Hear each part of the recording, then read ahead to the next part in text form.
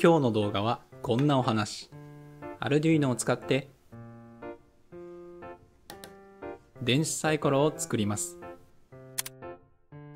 今日使うのはアルデュイノ Uno R4 の Wi-Fi バージョン、ブレッドボード、タクトスイッチ、赤色 LED、10kΩ の抵抗、そしてジャンパーワイヤーを適量。これらを使って電子サイコロを作ります。電子サイコロの回路図はこんな感じです。LED と抵抗のペアを7本分、スイッチを1本つなぎます。あとは LED がサイコロの出目に見えるようにうまく配線するだけで回路としてはとてもシンプルなものになります。配線図はこんな感じです。少し複雑で見にくいと思いますので一時停止してじっくりとご覧ください。そして出来上がった電子回路がこちらになります。では早速 Arduino IDE でプログラミングをしていきましょう。まず今回作るプログラムの全体像をお話しします。スイッチからの入力を受けて値が0と1を行き来するスイッチステートという変数を宣言し初期値は0にしておきます。そして2つの while 文を用意しスイッチステートの値を書き換えることでこれらの while 文を行ったり来たりします。初期値が0なので最初は左側の while 文に入ります。なお、プログラムでは上と下の位置関係ですが、画面の関係上、左、右でお見せしています。左側の while 文ではまず、1から6の出目を1つ決めます。その際、前回ご紹介したランダム関数を使います。出目を決めたら LED をすべて消灯し、初期化した後、その出目に応じた LED を点灯します。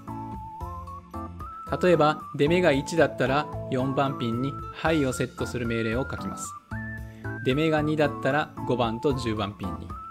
同じように出目が3だったら4番、5番、10番にハイをセットします。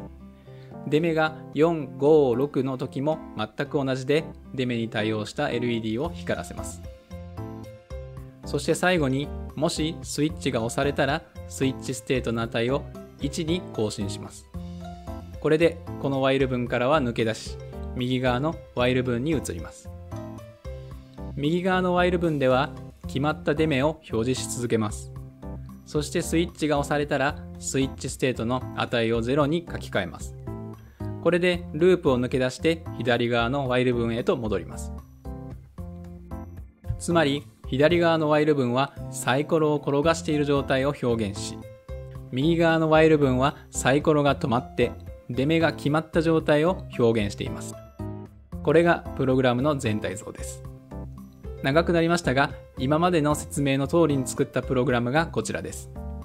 動画で全てお見せするのは難しいので、ソースコードの詳細は概要欄のリンクからご確認ください。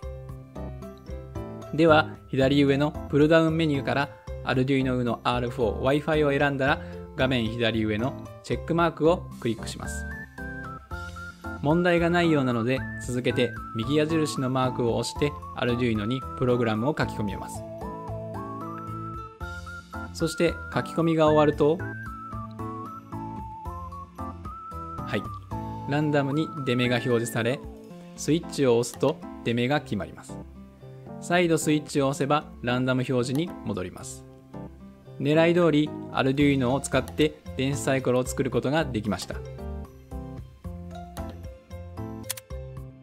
ということで今日の動画は Arduino を使って電子サイコロを作るでした。この電子サイコロのレシピには LED、抵抗、スイッチなどの基本が詰まっていて今から電子工作を始めたいという方にはとてもおすすめのレシピです。ぜひチャレンジしてみてください。それではまた次回。さよなら。